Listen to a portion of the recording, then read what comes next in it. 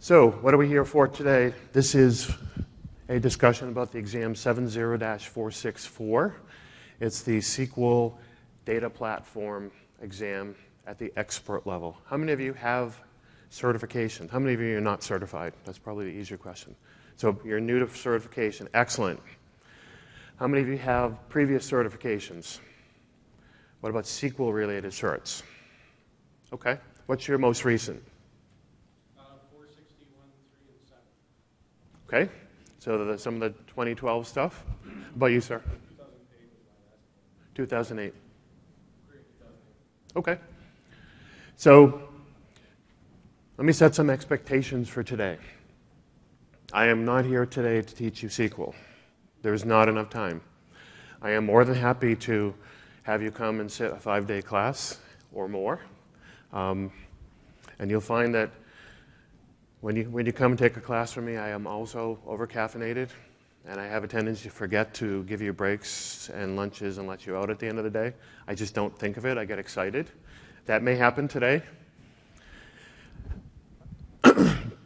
so it's not a class on SQL. What I want to do is make you aware of some of what's being tested and give you some insights so you can decide am I ready to take these exams?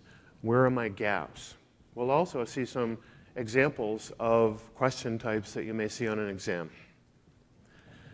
Lastly, I have a lot of different references for resources, mostly free, that are available for you to spin up virtual machines, talk to other people that are in the same situ- situation, interested in certification. So, with that, let's roll. So, how many of you are actually currently using, so you're implementing SQL Server on at least one machine and you're working with it? Okay, almost everybody. Nowadays, that's important. Most people will not be able to pass this exam or any of these exams by reading a book. That's intended. Um, you'll find that one in, a, one in 10,000 will, but most people you should not be able to do it without any prior experience with this version of the product. So you'll want to get in there and use the version to see how it behaves and what it does for you. I've got a four-step process, and this is the actual process that I use, is identifying first, what is your point? So why are you getting certified? How many of you are getting certified because your job requires it? Got one. How many of you just want to upgrade your skills and stay employed? So, as a Microsoft trainer, I have to have it to teach it. So, every year I budget a certain amount of time and money to keep my skills up. And I do have to tell you, when Microsoft decides to release updates to the entire product catalog in the same year, it makes it a little difficult. So this year, there's a huge amount of my budget going towards new certifications that are all rolling out. So we're going to talk about identifying your goal. Why are we doing this? Filled, we'll talk about finding our knowledge gaps, filling our knowledge gaps, and then lastly, talk about the exam itself. So, in terms of the exam portfolio for Microsoft certifications, I want to make you aware of what's out there. So if you've taken things in the past, Microsoft has changed the acronyms and the programs significantly over the years. Currently, we are using a four level certification track. Top tier is, or the lowest tier is the Microsoft Technology Associate. That was originally implemented as a resource for high school, college people um, to get started in a technology career. Microsoft Learning last year rolled out the program and expanded it to encompass everybody else. I recommend this exam for people sometimes that are intimidated by exams in general. You get a feel for the exam. For career changers, you have got somebody in another department that wants to come in and become a SQL admin before you spend a lot of time and energy getting them trained up, do they have the aptitude? So this is a great placement for that exam to see do they have the right mindset to want to be an admin? Then we've got the Microsoft's Certified Solutions Associate. This particular level is generally all about the doing. It is a version specific set of exams that test your knowledge on actually implementing. There are three exams in that set, and we'll take a look at them. Following that, we have the MCSE. This is the Microsoft Certified Solutions Expert. In the past, Microsoft has used that acronym before. It was Certified Solutions Engineer. It's different, and we'll talk about what the differences are to the program. So the name means something significantly more than it did in the past. Lastly, we have the Microsoft Certified Solutions Master. This particular program requires an extensive knowledge based exam plus a very extensive lab based exam where you will get real world, deep level problems to solve, and you have to go just do it. In terms of these MCSA SQL tracks, so these are the supporting exams that support the exam that we're going to talk today. so this is your core technical skills. There are three exams. 461 is all about querying SQL. In previous iterations of SQL exams, what you would find is this SQL queries questions spread out through the different exams. And hiring managers told Microsoft, we need something that tests people coherent in a coherent way on the SQL stuff. I need to be able to unleash somebody and have them be our person of, that writes the views and the stored procedures and the SQL code. So we have an entire exam built around SQL statements. Secondly, we've got the 462. 462 is all about administration, day to day administration. How do I set up redundancy? What are the hardware requirements? Things of that nature care and feeding of the SQL Server to keep it alive and happy day to day. Lastly, is the 463 exam for this track. So, this is all about implementing data warehouses. This, amongst the three of this track, the, is the one that's making a lot of people very unhappy. So, a lot of people were either in the online transaction processing space or we're in the data warehousing BI space. A lot of times, the two do not talk. Microsoft recognized and hiring managers ask that you may not be doing it today, but at some point, you may need to build the cubes or structure a database to support data warehousing. So, getting it ready to be accessible by BI people. So the skills, there's a lot of overlap, but there's a lot of disconnect. Go ahead, sir. Because it made so many changes, um, are there any upgrade paths before, or is it still? There are indeed. And uh, I'm going to refer you to the learning page for the exact number because I didn't put it on the slide, but there are some upgrade paths that will get you from your SQL Server 2008 up. So, for you to be a well rounded SQL person, and a well rounded expert, you need to have some awareness of the BI space. So this will not be designing the star schemas or the other schemas or the high level um, recommendations. This is the actual doing. I need you to build me a reporting database. I need you to build me these things. So it's implementing. Once you have those three, you have the MCSA. So those are version specific. Once you take them, you have them. On top of that, we have the data platform MCSE, Microsoft Certified Solutions Expert Exam. There is one other solutions expert exam currently for the SQL track. It's the business intelligence track. They'll be talking about that later on today. So you're not just building something that if somebody asks you or building an index, you are designing the entire system to do what you need it to do from a business perspective. The note at the bottom is really important. back in the MCSE days, the old acronym, th- those things never expired. People relied on that, the, that acronym on their resume, but after a few years in technology, it's out of date. Microsoft has recognized this, and all of the new certifications going forward at the expert level expire. What's important today is not going to be the same three years from now. So you need to do a recertification in three years at max from the date you pass your last exam to get this certification. Um, what that means to recertify is still under discussion at Microsoft, so there's nothing to release, but it will be in that period. So you'll see something coming out about it probably toward the end of this calendar year.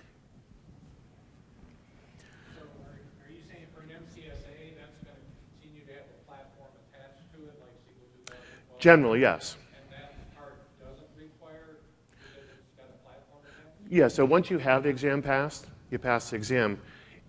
A couple years from now, when they uprev to 2014, there'll probably th- be the similar MCSA stuff for the 2014 version. But once a solution expert, always, as long as you keep it up. And really, the thought is just like a real estate agent, a lawyer, or a nurse, you have to get your continuing education in and then renew.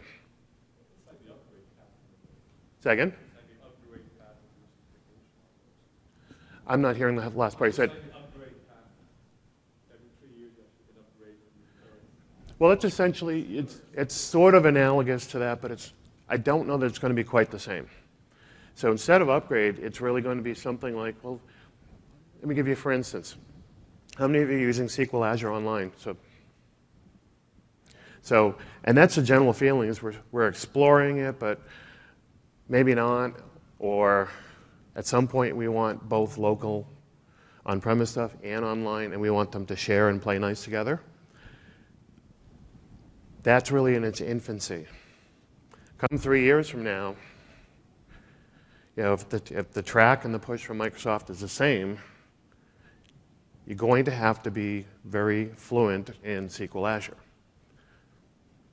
So that's the kind of things, you know, what's important then. So if you are projecting you know, high availability, that's an important feature now. It's going to get more important as things get more geographically distributed. So you can expect, come recertification, you'll need more awareness on that.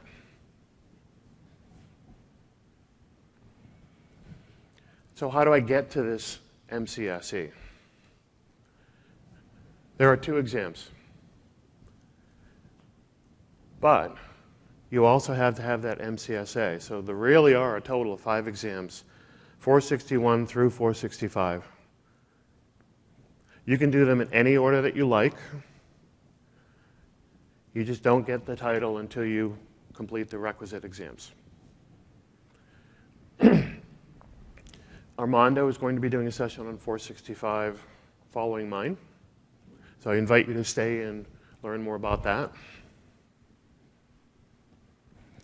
So, who's this for? This is for the people, not necessarily the DB admin, not necessarily, so it might be the, the people helping the DB admin, the people that are writing the queries and creating the views. It's not necessarily architects, it's the doers, the implementers. You give them guidance and say, This is how I need it implemented. Go do it. Go test it. Tell me when you're done. That's who this is targeting. You will have difficulty passing this exam without live experience working on the product so that you know how things act. Having said that, what I want to, I want to reinforce is that this is not, I'm, I'm not trying to say that it's a UI centric. There is no point click. Um, and I'm not, at, you, know, you should not be asked, where do you point and click to get something done? It's really about what is the flow to get something done. That is what we're testing here, more on concepts and real world situations than ever before.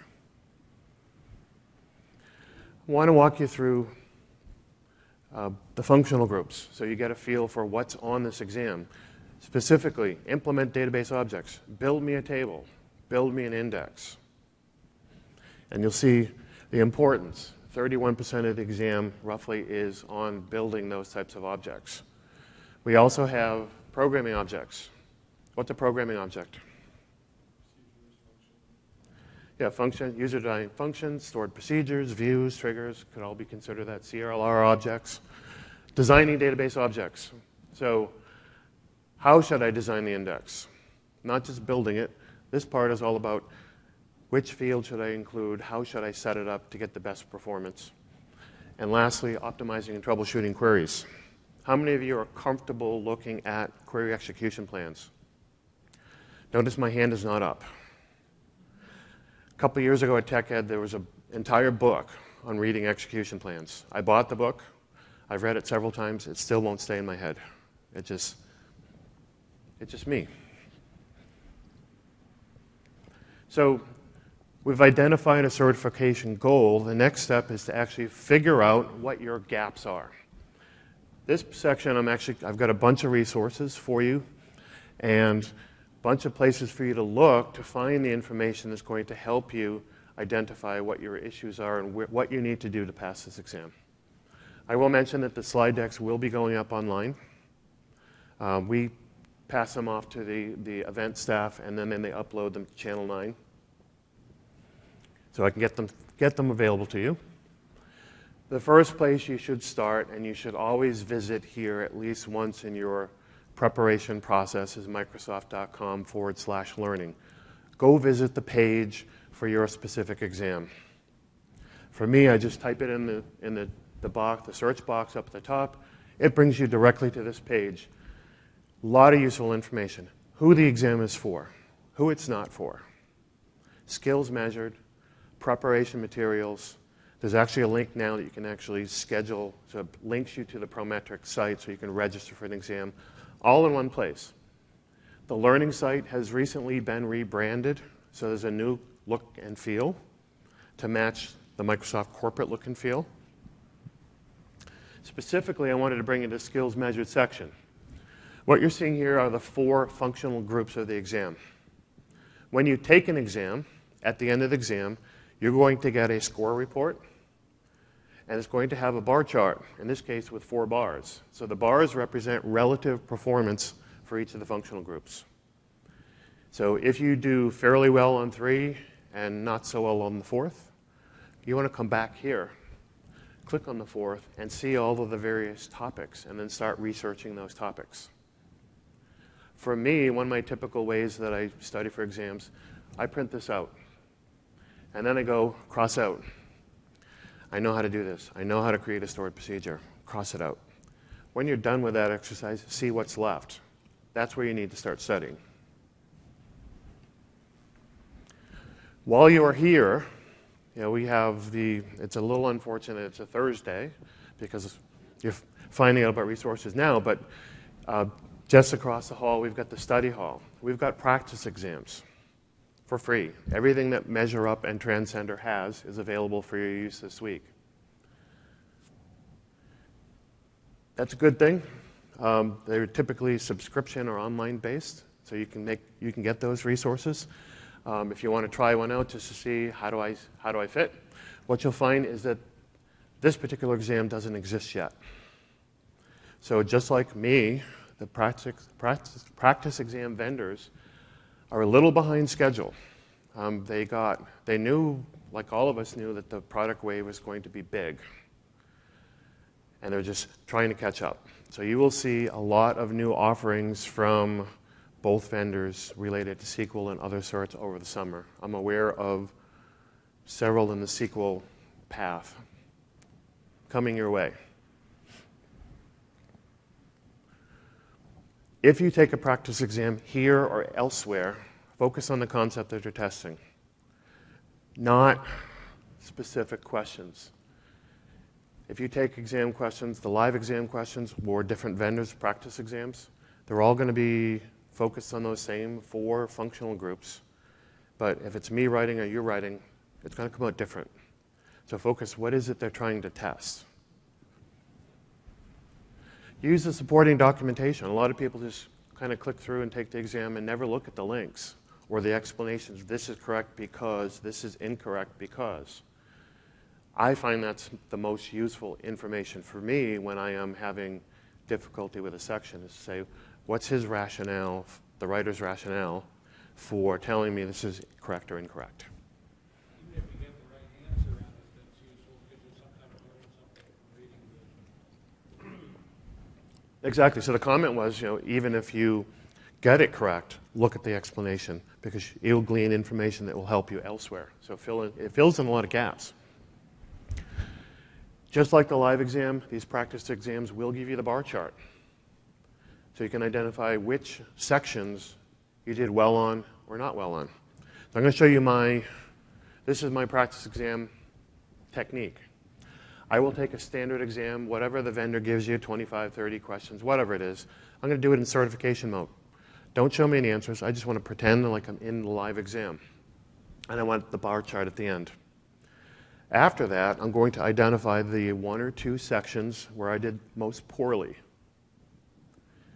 I'm going to go back and create a custom exam. So all of these vendors allow you to say, give me only 20 questions, give me all the questions, give me only things I've answered incorrectly more than twice. Um, in my case, give me only the questions, and in fact, give me all of the questions from this section. So you may see in that one section 10, 20 questions from that vendor, different ways of getting to the same kind of knowledge. Then what I'll do is if I have time and, and if I'm buying it, if I have the money, I'll buy the same product from the other vendor. I'll do the same thing, look at just that one section. Yes, sir.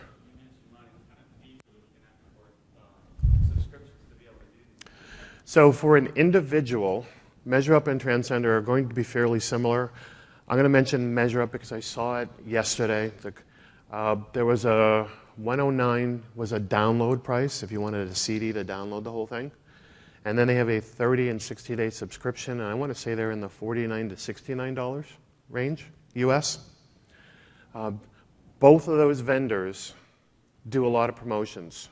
Go to their site and add yourself to their sp- I was going to say spam, their mailing list, uh, because they do frequent promotions. Uh, MeasureUp just ran one that was like 40 percent off a whole set of exams. They also offer bundles, so if you wanted whatever they have for the entire SQL 2012 track, they'll give you a significant discount for buying blocks. Additionally, if you work for a company, a lot of companies, you can buy a corporate subscription that makes the product available for big groups.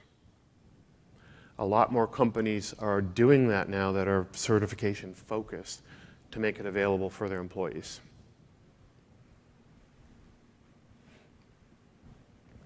Take a class. For each one of these certifications, there is an instructor led Microsoft official course. MCTs are required to teach those courses at uh, Microsoft's training partners. We're also required to have the certifications to teach it. For this particular exam, there is a single class that's targeted directly at the exam. It's 10776. I left the other one up there for the 465 to show you the new numbering convention. So when the SQL courses were coming out, Microsoft was in the process of updating the numbering. Each course that is exam specific is targeted, so it's a sort of a one to one relationship. The course alone will not, in 99.99% of circumstances, be sufficient for you to pass an exam. It's supposed to get you proficient at a lot of things, and then you need to do further work and actually work, use the product to get there. But notice the new naming convention. The exam is 465. The course is 20465. 20 is English, and then the exam name. The 464 class was just before they made the naming change, and they decided not to go back and rename it because it was already in market.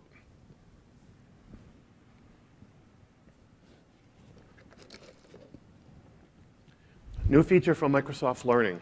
They have certification study groups. So you'll notice this um, borntolearn.mslearn.net. This is Microsoft Learning's social media site. They have blogs, question and answer forums, announcements from Microsoft about new exams, new promotions, all sorts of things. Get in the discussion. For each exam, there is both a forum and a wiki. I am actually one of the moderators for the SQL exam study group. So if you have questions, what you'll find is it's not a lot of people yet relative to some of the news groups that you might be parts of out in the, out in the world, but it is growing fairly rapidly. People are starting to notice and they are interacting. So people are sharing resources. Hey, here's a great site that really does a good job of explaining high availability. You can ask questions, and if we don't have the answers, we'll point you to the right places or we'll find the answers for you. But it's a great place to get involved. There's also a training and certification forum on MSDN. So MSDN is the keeper of all of the official question and answer forums. This forum is more geared towards how do I register for an exam? I'm having an issue. I took an exam, it doesn't show up in my transcript. Um, I've got a technical question about certification. I don't understand what path I need to get where I need. Um, so that is out there in live. This is very heavily visited. Um, I also moderate that forum, so if you ever need to contact me, that's another way to get me, is put a question in there. Other lab resources. So at least one person in the room said that they have not st- stood up SQL Server 2012 yet. And I keep saying, you need that hands on experience. How do you get it if you don't have an instance yet? One of the places to get it is virtual labs. The product groups at Microsoft have for years put, vir- put virtual machines up in the cloud for you to try out. So, just having a Microsoft account, you would simply log on, choose a lab, it will launch a virtual machine and then a lab manual. You don't necessarily want to do this on a wireless connection, you'll be disappointed with performance. And if you have a second monitor, so you can put the manual on one and the VM on the other, makes for a phenomenal experience. Similar to what we have in hands on labs. In fact, those are running in the cloud. These virtual labs are typically put by the product group to introduce new features or features that users have been calling support and registering re- support requests against. So if they say, too many people seem to be implementing this incorrectly or unsatisfactorily, they will put a lab to explain here are some best practices and some step by steps to make this happen. Difference between the two is TechNet is going to be more IT pro related. MSDN is going to be more of a developer flavor. You might find different labs, well, you will find different labs in both sets. They both have their own tables of contents. And you might find that some of the developer and TechNet stuff has overlap and has value for you. So this gives you real world experience. The other place I want to walk you through is the Microsoft Virtual Academy. This is another resource that's been around for years, but it's underutilized and un- not well known. It has started to explode in the last six to eight months because of some changes that Microsoft has made. Specifically, they are doing live broadcast, live webcasts called Jumpstarts. Have any of you taken a Jumpstart? Are, have, are you aware of them? Okay, not, not too many, and you'll see more marketing related to that coming forward, and you will see some SQL jumpstarts. I'm aware of several that are in the works. Uh, what they are two people, typically, sometimes as a trainer, but a product group person with. They'll do a day or two of a live webcast where you can ask questions. It's somewhat certification focused but it gives you really deep access to the technology, and you can talk to the product group people. After these jump starts, they parse and break apart the videos that they've recorded and put them up for you to watch. There are also white papers and all sorts of other good resources to go visit. Okay. The next step is to fill the gaps. So, what we're going to do is kind of walk through the sections, and I don't want to just read the slides. I want to just say, ask questions, say some of the things that are important, and what is the level of kind of questions we're asking at in these exams. we've got some sample questions in here. These are not written by Microsoft. They're not lifted from Microsoft content. They come out of my, my own brain just to give you a flavor of the way we can ask questions. That's really the intent. So if I made a mistake, because a lot of these were done in the middle of the night after visiting Bourbon Street, um, don't focus on that. Focus on the way that we're asking the questions and what you, need, what you can expect when you take an exam. So we'll start, start here. So creating and altering tables. How many of you have done it in the UI? So most people have built it in the UI. How many of you have done it with SQL? Okay? The expectation in exam is that you can do both. Because we don't want to be UI specific, I don't want you to have to remember where you have to go to point and click. I want you to know how to build a table. You'll find that the default is we may present you with some SQL code that builds a table and ask you what's wrong or why is it not doing what it's supposed to do. So, in a lot of SQL related exams, questions will come out as SQL text because that's a better way to get an understanding without relying on UI knowledge. Managing tables using triggers. How many of you have built a trigger and actually got it to do what it's supposed to do? Uh, I had horrible time over the years. I was using them and I had triggers upon triggers upon triggers upon triggers. Um, so I didn't do a very good design on some of these databases I was playing with. So you click the button to commit a transaction and then go take a coffee break because it was kind of cascading and I actually had some that were recursive. So you know, as a developer, I'm really good at building infinite loops. So when should I use triggers? When is each type appropriate? What happens if you have a delete trigger? What happens to the data when you click the delete button and kind of, or you run the delete SQL statement and hit enter? Where does the data go? Does it go directly to the forever gone? It actually goes into a temporary space, a buffer, as it were, a, a, deleted table.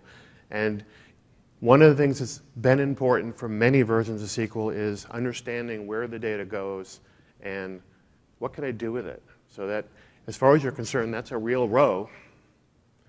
You can work with it, you can compare it to what did they put in versus what was in that deleted, so you can compare the differences and then decide do I need to roll it back and undo it if they did something I don't want them to do.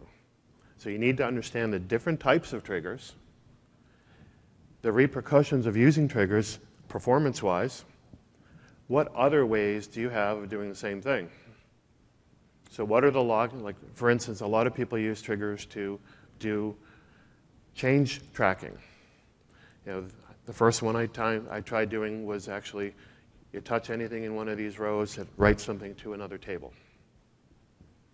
So, what are the alternatives to SQL 2012 or SQL 28? What can you do now?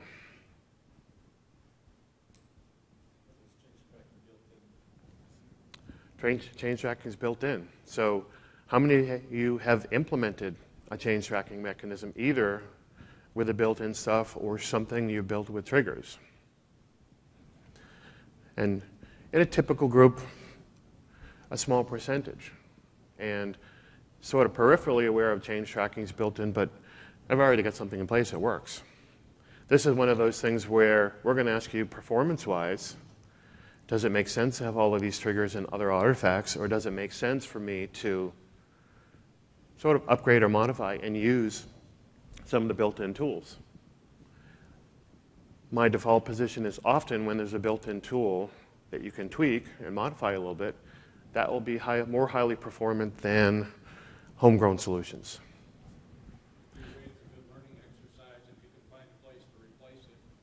Absolutely. So it, it is a great learning exercise to figure out, it's well said, um, how you can do it.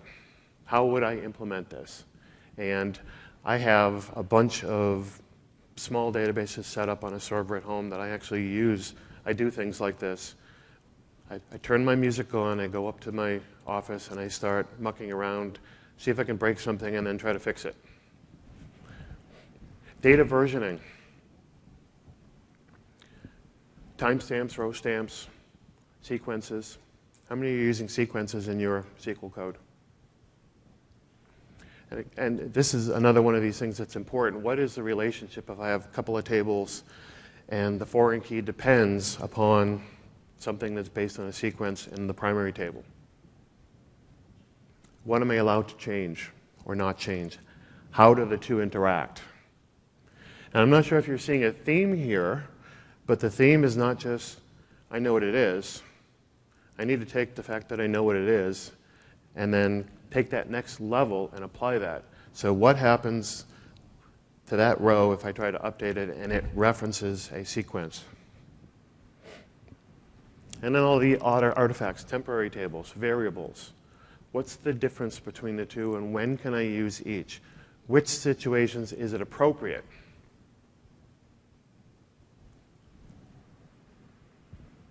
Got a first sample question. You will see multiple choice questions on exams. So people have taken the MCSA 2008 primarily, or the, a lot of the items were multiple choice. Is that correct? Um, and you will find the tide is turning. So we're going to introduce you to some of the other changes. But a standard multiple choice question. Um, I put the brackets in there just so I could contrive a question the way I wanted it, but basically I'm going to substitute, put in a table name. So where I'm going with this, is it a temporary table? Is it a table variable?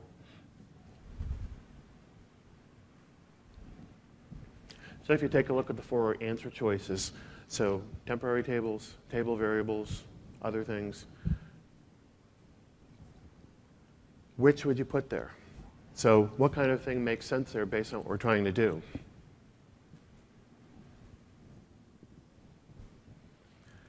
When you see these items, make sure you read the requirements section.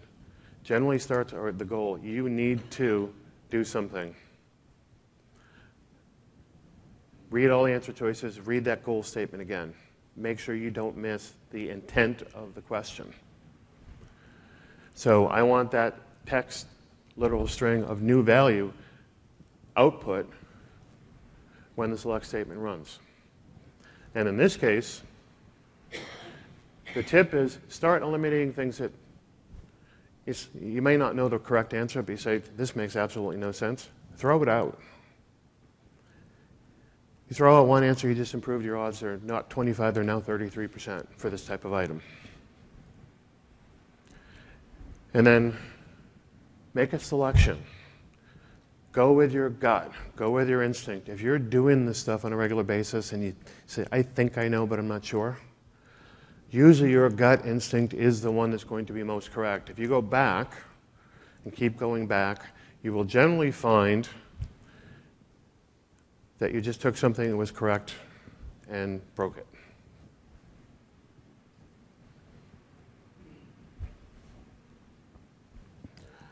Really important to understand the security roles. In the developer world and the SQL world, one of my biggest hurdles is security. As I mentioned, I deal with local government, small business, so I don't need to worry about security. They log in, they want the, thing, the programs to automatically start up for them and be logged in. Security stuff has never stayed in my head. What are some of the security concerns in SQL? Who can get into the databases, who can access certain stored procedures, views, other objects, who should be specifically denied permissions to those objects. Other issues related to this that you need to be aware of are if I have permissions to create a table, I create a table, and then I'm Somebody else wants to create a view. I give them permissions to select data from my table or some other permissions. So they create a view. What are they allowed to do with my table? So it's not just permissions, it's inheritance of permissions. And what are the impacts? What is the impact if I want to update data through the view back to one or more tables? What is allowed and what is not allowed based on the various options that you set up? So you need to be really comfortable with that. The best way of doing that is to literally get in there and build a couple of tables, build a view on it, log in as somebody else, and try it. You only need to do it a couple of times. In my case, it, just took a couple of times for that before, oh yeah, they can't do this because they don't have write permissions to that table through the view. How do I fix it? Then you go start playing with SQL options to make it happen. So all about the change permission chains. Um, back, I can't remember when, they made the switch from DBO owning everything to schemas. I think it was 08. Couldn't remember if it's 05 or 08. Second? Okay. Um, so what is the impact of that? So if a schema owns certain objects on the use of those objects by other schemas. This particular topic, when I'm teaching SQL, hangs a lot of people up. You know, if it's just a table or a view, they're really comfortable assigning permissions. But if I need some from this schema and this schema, and they're owned by different um, owned by different roles, and they have different sets of permissions, that's when you start getting to issues. At this level of exam, those are the kinds of things that you will encounter. Solve that problem.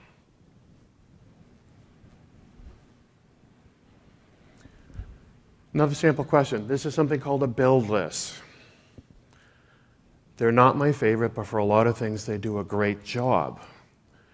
These are first steps. You know, there is a prescribed set of steps that has to be done in a certain order and has to be done in that order and that order alone. As a practitioner of SQL, there are a lot of those things you've identified where you can't do this until you do that. You have to know those steps, and you would expect the people that you're having implement to know those steps. So we've got a database that has sensitive information. So before you even see the options, what are you assuming that you might need to do? Encrypt, right?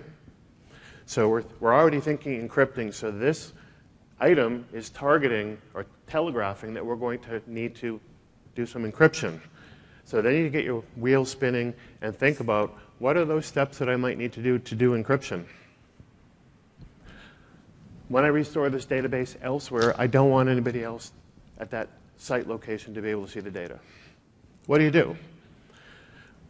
When you see a build list, generally it will say either what should you do or which X steps should you use. Sometimes it tells you how many you need, sometimes you have to figure it out. There'll always be an instruction sta- statement in these kind of things, usually has parentheses around it. Vast majority of people, just like those dialog boxes that pop up and you just click OK without reading, never read that.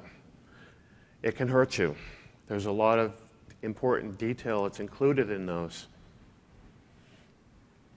The first step when you get a build list is think about the process. What would I do? Have I done this? Do I remember what I thought I needed to do? I typically write them down on the board, they, the piece of paper they give you. And remove the steps in your mind so I don't need this bottom one. So now you know what you're dealing with, and then you have this puzzle through. Okay, remember we had to do this, but we had, I think we had to do this before, not sure. So you want to start puzzling through what is the order of items. So if you were doing an encryption and you don't want it to be readable, are there any steps here that you can remove?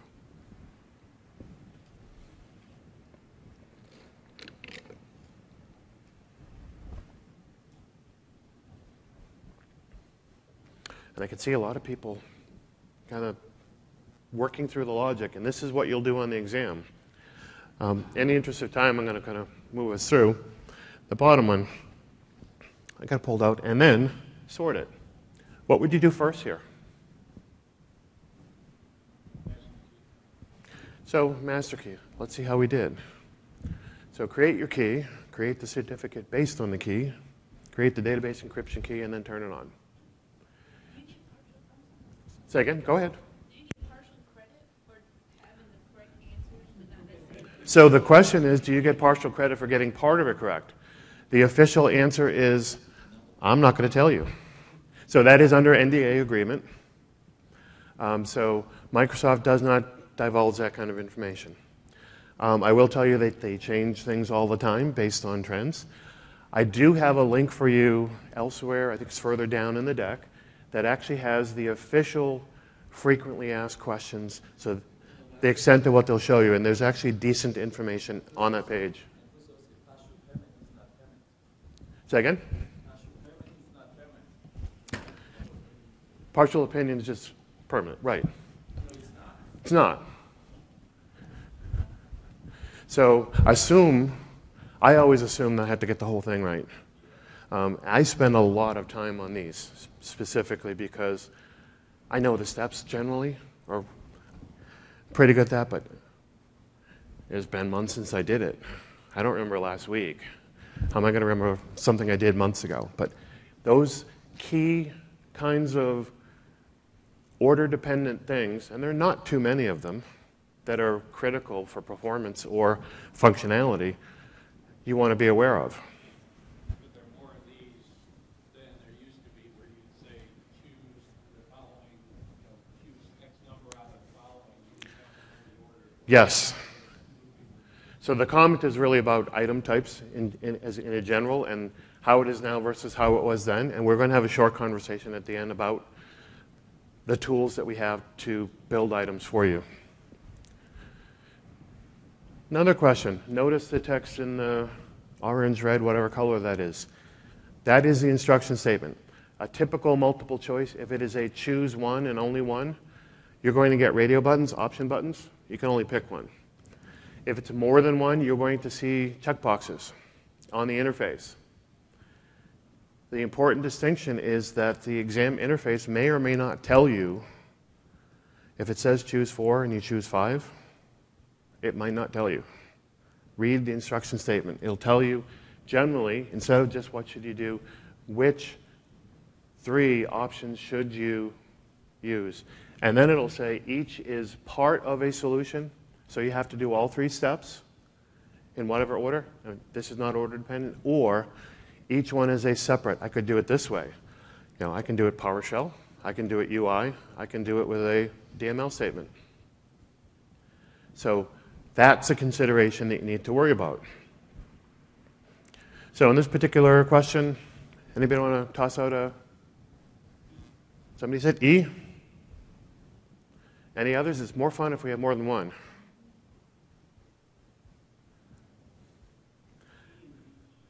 So he said E and maybe B. Gary, pick a letter or two. C. So choose another one because it's two. E. And while I'm on the subject, I forgot to introduce Gary. My apologies. Gary is an, my esteemed, he's an IT pro uh, guru. Gary is also a Microsoft trainer, and he did a presentation, or actually two, earlier in the week. Okay, let's find out. So, in this case, that is correct.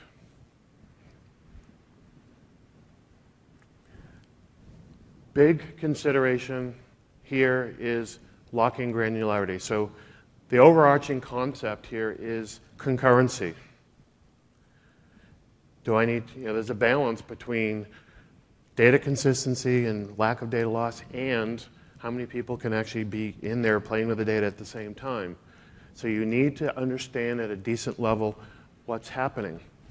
You know, if we've got multiple operations going on that are affecting the same groups of records, if the locks are inconsistent or one of them has a different type of lock, it, may pre- prevent the other action.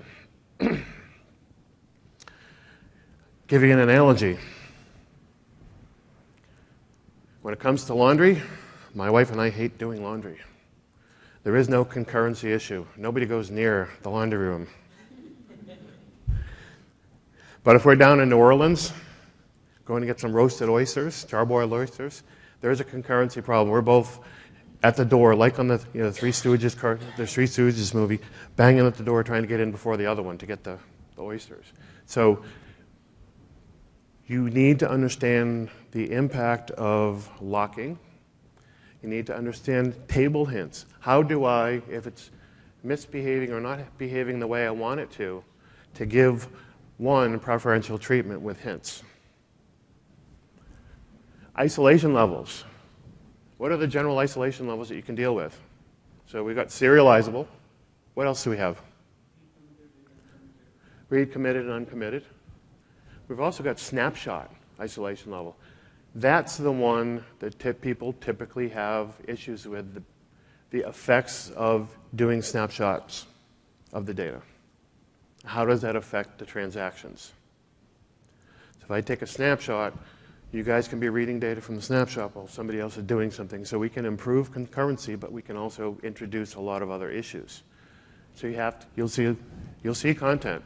I mean, it's an important concept. You're guaranteed you'll see content that tests your knowledge of how to deal with these things. So another variation on multiple choice is the choose all that apply. These are very challenging items. You will spend more time, and you should, on these than a lot of the other types. Really, knowledge of all the tools. Which ones of these tools, so there are four, four tools, which ones will actually solve the problem?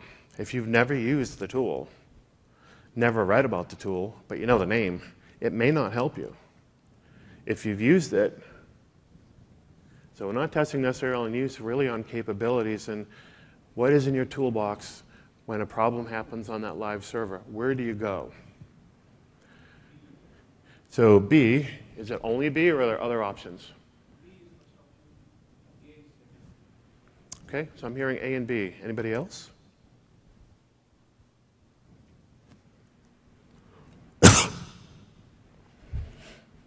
So A and B are indeed the correct set. We don't tell you how many options. We just tell you there are multiple potentially. Indexes. So earlier, and, and in the 461 exam, can you create an index with DDL or using the UI? It's typically DDL, it should be DML. Can you create the index? Here, it's all about modifying the index. It's about rebuilding index, setting the padding on index, computing statistics on index, when, where, why, all of those other factors that affect the performance of a query. What you'll see, and there's going to be a recurring theme here in these various uh, functional groups, index comes up and sort of index comes up and it comes up again later when we talk about execution plans. It's all interrelated. So I may say that there's, in the execution plan section, you'll see one. I need to improve the performance. And one of the things may be to rebuild the index or set, redo the statistics or something like that to solve the problem. They don't tell you it's an indexing related problem. It may be. So if you've dealt with indexes or people are trying to insert and it's very slow or query and it's very slow, what do you do? When should I rebuild versus reorganizing the index? And then tuning and maintenance strategy. That's another double edged sword. How often is often enough to maintain the performance level? On the reverse side, what is the performance level that you expect? Know, how many of you have gotten those calls? The query runs slow. What does that mean? If you can say, well, I executed it last week and it took a couple of minutes. Today it's taking 12. That is a measurable thing, and you can actually do some actions against it. So you know now that something is actually wrong. What are you going to do about it? So there'll be a lot of what are you going to do about it questions in any of these expert level exams. Data types. How many of you do development at all? So do you build CLR objects for SQL? Um, and, and that's typical. Most DB admins and database experts and architects are not building the actual CLR objects. They're specifying, I need something, this is what I'm going to send into it, this is what needs to come out of it. Build it. So they call me, or you, a couple of people, say, build it. Your requirement as a SQL admin person is to understand how do I make that available? So there are multiple steps. You have to turn on the CLR, you have to enable it so that SQL Server will allow you to see it. You've got to mark or have the developer mark the code correctly such that it can be used with the permission levels in SQL Server. So it's marked for safe. Or can it get to things outside of the SQL Server sandbox, like the mail subsystem or other file system objects? So you need to enable it. You need to build a thing. You need to register it and make it available, and then write a query to show that it does indeed do what it's supposed to do. In the simplest forms, you don't necessarily need to build one. There are some online labs. One of them that was up on Virtual Lab, it might actually have been part of the SQL 2008 R2. Virtual Labs was actually about taking a pre-built CLR object, bringing it into a SQL Server database, and then using it. Spatial data. How many of you dealing with geographical? What are you actually doing with it, sir? We have like sales reps territory and have shapes as your geography objects. We can throw, oh, we have a new account, who's going to get it? So we throw the Based on geography. Okay.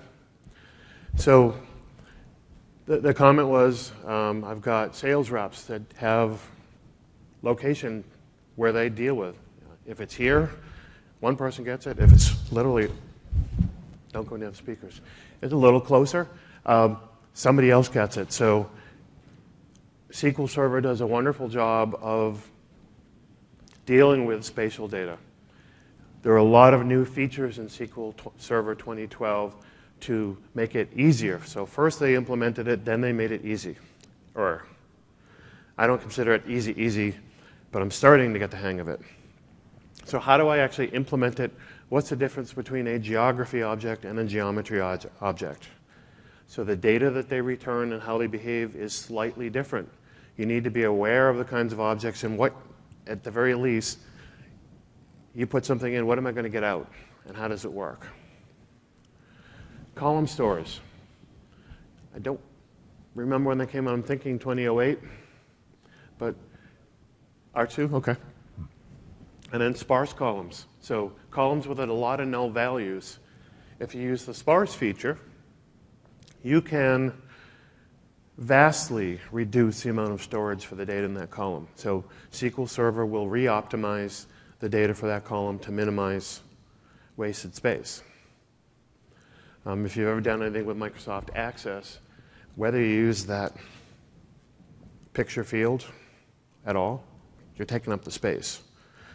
So you always see those access files and like some of the SQL Server Express used, or MSD before SQL Server Express used to be the ever expanding file for non-use stuff. So SQL Server 2012 does a great job if you set it up that way to remove a lot of the unused space to more efficiently use storage. Which brings us to a simple question related to sparse columns. So we're going to create a basic table. The key feature here is data types. So think about data types, think about the constraints on these fields. And I'll come back to it so you can see it.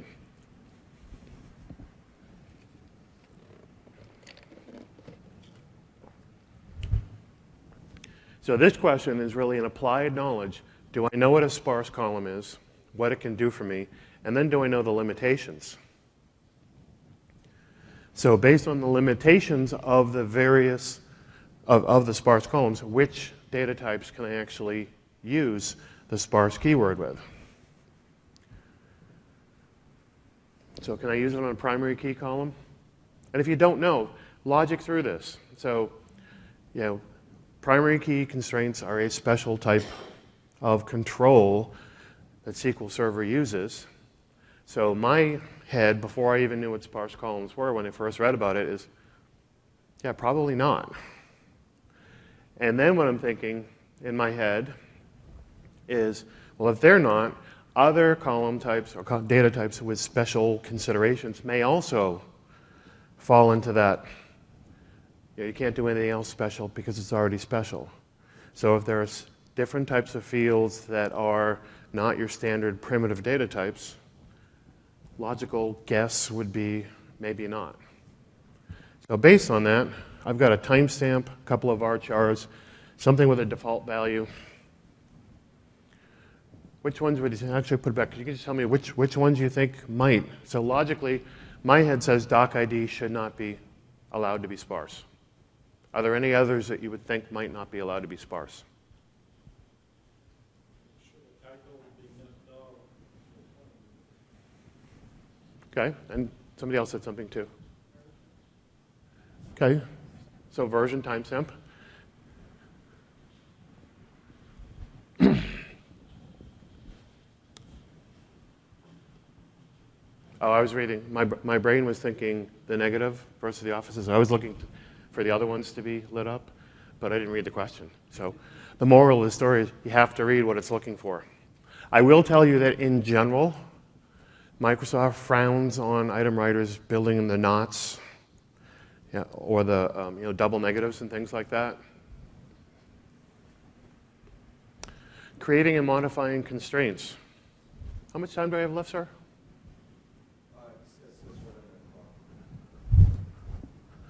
Okay. Cool. So, primary key constraints, null constraints, default constraints, all of those types of things. You would have already probably taken the 461 exam. So, the actual implementation is one thing, and then there's a question of at this level, how should I do it based on a business constraint? So, if I give you a business scenario, what should you do here? What kind of constraint should you use and how should you configure it? XML data. How many of you have XML data and you're, you're working with it? It's not my favorite thing to work with because I started with it when it, SQL Server really first started supporting it, and it, the tooling was not wonderful. So I have that bad taste in my mouth, and I just can't get it out. Import, so you need to know how do I get the XML into a column? How do I then query that XML related column to find a set of nodes for each row or whatever it is that I need? Let me um, walk you through the, the next section. Au- automating backup testing. And this one, what does that mean? So there are routines. Tell it to automatically back itself up and do what it needs. So PowerShell, you're not necessarily going to need PowerShell here. There are different UI, maintenance plans, SQL jobs that you can set up to do some of those things. Checking your index fragmentation. If you actually run some of the reports and look at it, do you know what it means when you see the index fragmentation? Pages and percentages and things of that nature. How many of you would say that you're comfortable with that? Notice that my hand's not up. And I had one that was kind of a, kinda. That's very typical. But when you're dealing with performance, it's really important that you understand that you know, I've got a lot of columns that are indexed and how it behaves. Running an SSIS job. So, what are we thinking? We think SQL agent, um, getting parameters in, or doing not deep level. That's not the purpose of this exam. Is to invest, get into the innards of SSIS packages. This is really how do I, as an admin, set it up for execution to make it happen. Same thing with stored procedures. You already know how to build them. How do I get data in? How do I get data out? What can I put into a stored procedure? What kind of data can I get out? Analyzing and rewriting. So I've got something that's a stored procedure. There was an issue with it, or we want to add a feature. First question is, should I? Second question is, how do I actually do that? And then dealing with table value parameters, how do I get them in and out and work with that? Table value parameters and things of that nature are extremely important in SQL Server, and they were really important in the exams for 2008 and should be going forward. So designing functions. So this is not necessarily writing it now, it's how do you design it so you can get what you need done? Excuse me. altering it, and then specifically cross apply as it pertains to user defined functions. What does it mean? How do I deal with it? It's an important consideration. Best practices for views. So, do you give your people permission to tables or just views and stored procedures? Or how do you want to set that up based on the business constraints and rules in place? And we've got database objects and specifically partitioning, file streams. File streams, uh, there are some new features associated with SQL Server 2012 for storing things in the file system and having SQL. As far as you're concerned, SQL Server it's in there, but it's actually not. It's in the file system. How do I get things in and out between the two? So we're dealing with something in the sandbox SQL Server and then going outside the sandbox to the file system.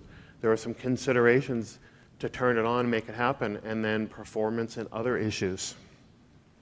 Partitioning your tables, you need to understand the why and the how to do it. So if I give you a business scenario, we got X number of data, we typically do reports based on a per month. It telegraphs, I need to partition by this. It won't be that simple, but along that same idea, you'll puzzle through okay, how do I need to design that partitioning strategy? And then which of these SQL statements, or how do I build the SQL statement from pieces that will let it happen?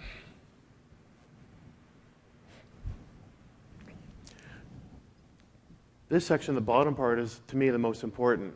Given a business situation where you've got a bunch of indexes set up, which ones is SQL Server going to use? And if not, why is it not using the ones you thought it would? Why is it doing a table row by row scan when you have an index on the column you're looking for?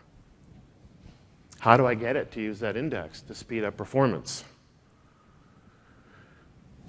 Set a primary key. It's a fairly I won't say lower level, but it's something you learn earlier on.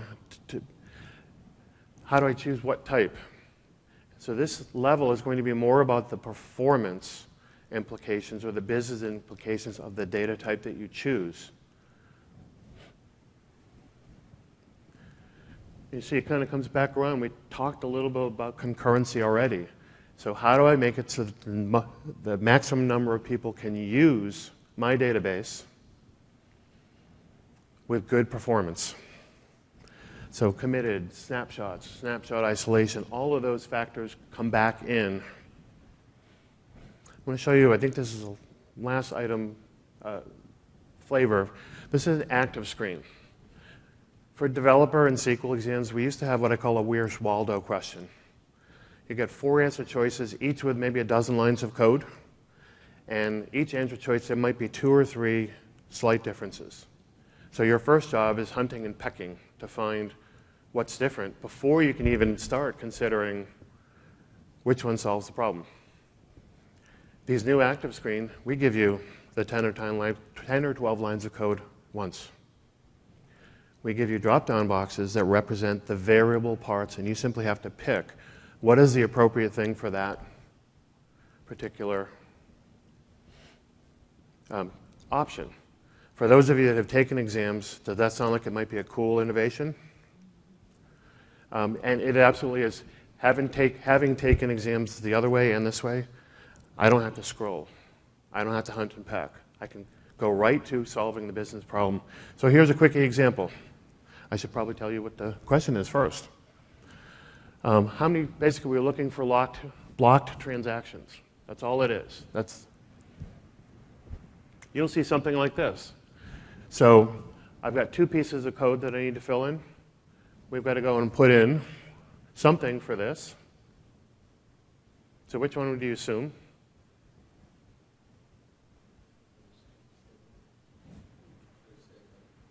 Oops. um, and then for the second one, choose. So which state would you use to identify those blocked transactions? Operations, excuse me. Suspended.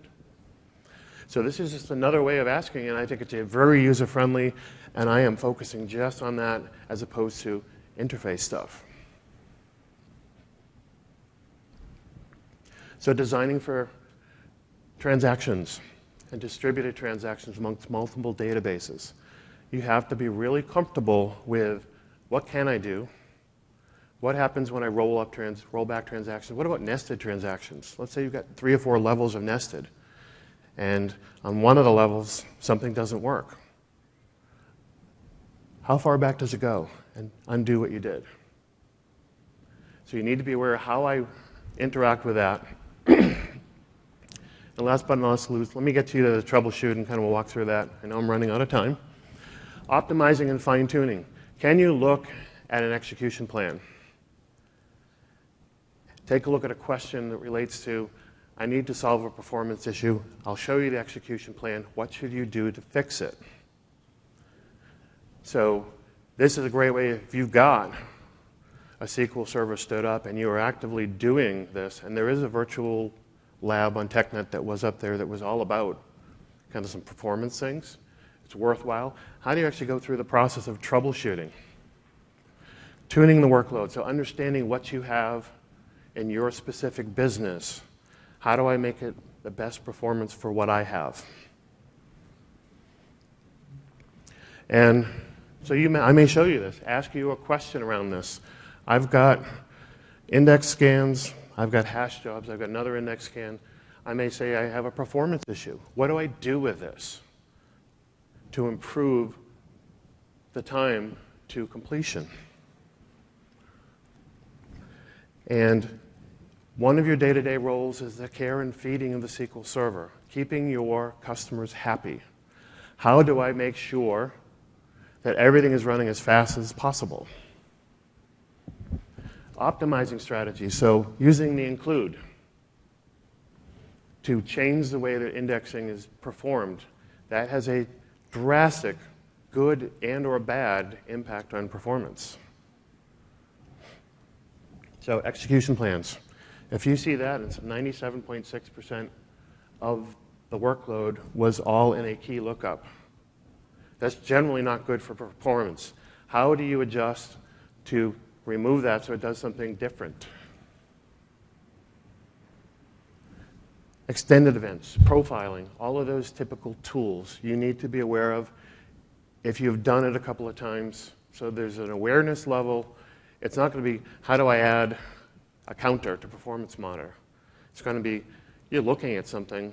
What's going wrong here? What's going on related to the business situation? Last but not least, take the exam. So it's actually helpful that this is on a Thursday morning because Thursday mornings, typically the exam room is pretty tightly booked. I don't generally like people to come into one of these and then walk out and take the exam. It was really all about identifying where you are and where you need to go to get here. But the day of, we'll get to it real quick. We saw multiple choice. We saw a build this.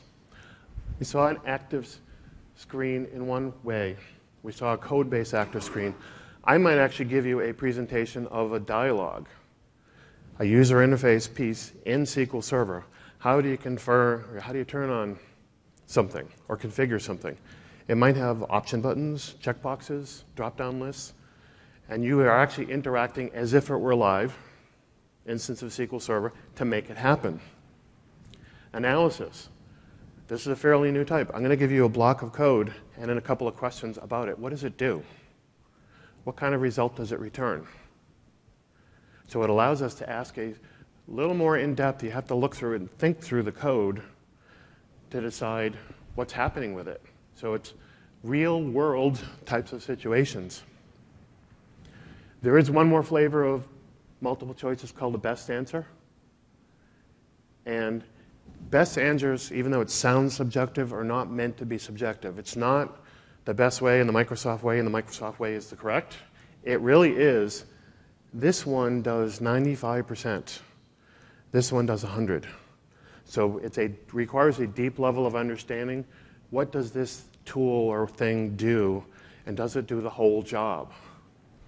And then drag and drop. Drag and drop is like an active screen, but instead of choosing that drop down list and picking an option, I'm going to give you part of the code and give you a placeholder drag over the piece that meets your needs.